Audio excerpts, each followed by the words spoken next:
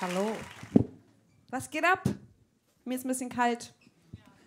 Ich bin nicht erregt, wollte ich nur sagen. Also, vielleicht doch, man weiß es nicht. Hi.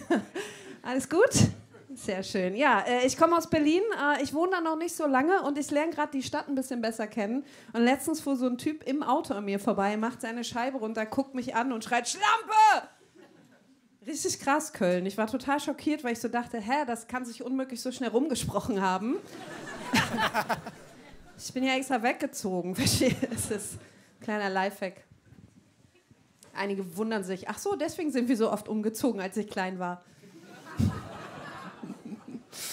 Ah, schön, herrlich. Ja, äh, ich weiß nicht, habt ihr euch was vorgenommen dieses Jahr? Irgendjemand geile Vorsätze? Weniger Kokain, du? geil. Ich habe mir auf jeden Fall was vorgenommen, so einen richtig geilen Vorsatz. Ich werde 2023 einfach immer öfter sagen, was ich denke. Hast ja gerade schon gemerkt. So immer so ganz frei raus. Und ich habe auf dem Weg hierher damit schon angefangen. Äh, ich war so im Auto und neben mir waren so zwei Menschen vom Ordnungsamt. Und dann habe ich meine Scheibe runtergemacht und habe ich die so angeguckt und war so, für die Bullen hat es nicht gereicht, wa? Haha! Und dann bin ich so an denen vorbeigefahren, die so hinterher. Es waren doch recht schnell dann auch. War auch ein bisschen teuer, weil es war auch rot und die Polizei war auch da auf einmal. Ich hatte beide Hände voll zu tun, da wieder rauszukommen. Naja. Äh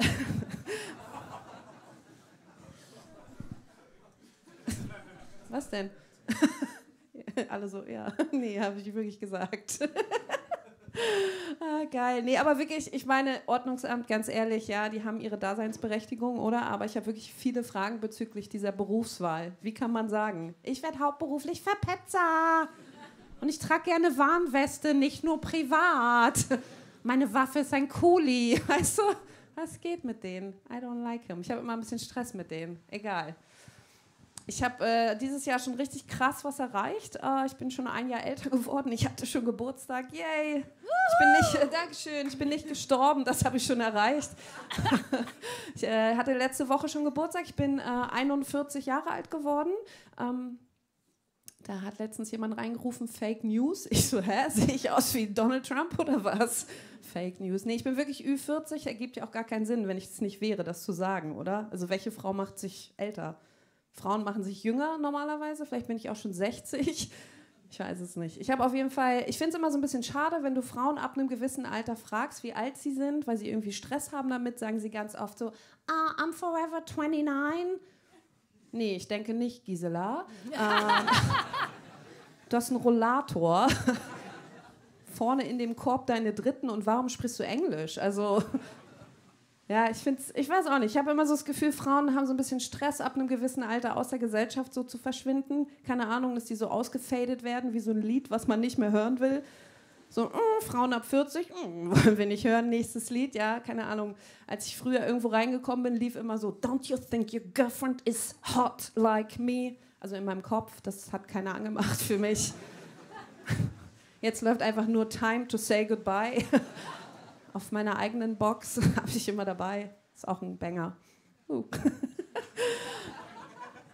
Letztens äh, wollte so ein feministisches Magazin über mich berichten. Das fand ich voll geil, weil die so meinten, hey, es geht um die Sichtbarmachung von Frauen. Ich so, ja, bin dabei. Ich habe es aber auch gar nicht gecheckt, weil ich bin dumm. Sichtbarmachung von Frauen. Soll ich meine Titten rausholen?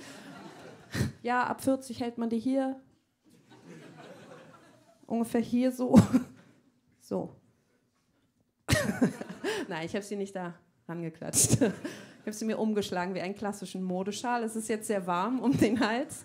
Ich könnte sie auch während der Show rumreichen. Einmal bis ganz nach hinten, dann wieder zurück. Jeder kann einmal Hallo sagen und sagen, Time to say goodbye. Dich wollen wir nicht mehr sehen. Ist auf jeden Fall nichts. Äh, einmal klatschen wäre auch Hängetitten. Das interessiert mich jetzt. Äh, würde auch ohne Hände gehen? Auch die Männer? Einige sind jetzt irritiert. Definier doch mal Hängetitten. Ich sag mal so, wenn unter deiner Brust so ein Bleistift passt, der dann nie wieder weggeht, dann bist du gut dabei. Wahlweise auch eine Tastatur. Ähm, wenn ihr das später ausprobieren wollt, kommt zu mir, ich habe was dabei. Also das ist überhaupt gar kein Problem. Es gibt noch ein männliches Äquivalent zur Hängetitte, das ist der Schlepphoden. Ich weiß nicht, warum ich dich die ganze Zeit da so angucke. Naja, es ist auf jeden Fall nichts draus geworden aus dem äh, feministischen Magazinbericht über mich, ne? weil äh, die haben mir abgesagt mit den Worten, ja, unsere äh, feministische Redaktionsleitung bestehend aus Malte und Dominik, die sich jetzt auch als Frauen identifizieren, haben gesagt, du bist zu alt. Krass. Und dann habe ich wirklich zum allerersten Mal ganz bewusst darauf geachtet, dass ich mich so ausdrücke, dass sich jeder in dieser Redaktionsleitung angesprochen fühlt. Ich habe gesagt, Fotzen. Und ja, ich wollte, dass Malte und Dominik auch verstehen, was es bedeutet, sich als Frau zu identifizieren. Da wird man auch einfach mal random als Fotze beschimpft, oder? Ihr nicht. Okay. Das passiert nur in Berlin. Ja, ich habe auf jeden Fall einen Punkt gemacht. Äh, ich kann den irgendwie aber auch gerade gar nicht mehr schreiben. Ich glaube, ich bin blockiert. Das muss man auch erstmal erreichen. Ja, sehr schön. Ja, läuft ja richtig geil hier. Huh, geile Stimmung. Yay! Cheer for myself.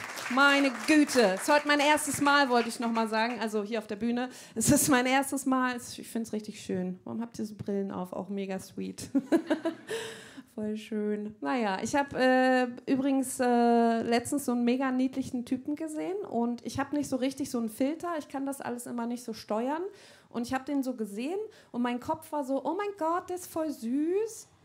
Der gefällt mir. Und dann hatte ich aber Eisprung zu dem Tag, Zeitpunkt und meine Eier waren so, komm mal schön her zur Mama. Das war mega laut. Ich habe mich total, ich habe mich total erschrocken, weil ich so dachte, boah, nicht, dass er das gehört hat, ne? Und dann sehe ich so, wie der Typ so im nächsten Atemzug so von so einer Frau angelabert wurde, so, ja, ich finde dich total toll, ich weiß, du hast mega viele Fans, die dir das sagen. Und der Typ nur so, äh, ja, danke schön, ne? Und dann geht er so an mir vorbei und ich original ohne Filter stehe so hinter ihm, ich so, bist du berühmt oder was? So, oh, bist du berühmt oder was? Und er so voll eingeschüchtert. Er so, hm, ja. Ich so, ja, wer bist du? Kriegst du eine Kopfnuss, wer bist du? Also Vincent Weiss. es ist einfach eine fucking true story. Ich habe Vincent Weiss von hinten angelaufen. Bist du berühmt? Wer bist du? Weißt du so? Oh mein Gott, dann dachte ich auch so, das ist mega, weißt du, wenn du so eine prominente Person triffst, dann ist das eher so einseitig. Ne? Der wird das jetzt vergessen. Ich denke jetzt mein ganzes Leben darüber nach. Finde das voll schade. Fände es voll geil, wenn er sich für immer an mich erinnern könnte. Und dann dachte ich, dafür müsste man wahrscheinlich was krass Extremes machen. Keine Ahnung, sich in die Hand kacken und den was so an den Kopf schmeißen dachte ich auch, krass, vielleicht machen das deswegen auch die Affen im Zoo. Machen das ja auch, weißt du, so, vergiss mich nicht, ich heiße Coco, hol mich hier raus. Keine Ahnung. Naja. Ich bin übrigens Single, einige so, ja, zu Recht. Ähm, ich bin Single, ich kann nicht so richtig flirten und ich habe mir letztens so Flirt-Tipps mal geholt und dann meinte die Person so, ja, du musst die Person, die du magst, ganz lange anschauen, dann musst du was Nettes sagen und dann musst du auf die zugehen. Ne? Ich so, okay, dann habe ich das ausprobiert, dann habe ich die Person ganz lange angeschaut.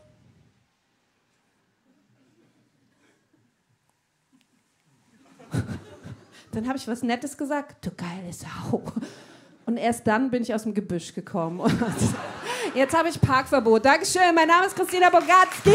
Dankeschön. Christina Bogatski.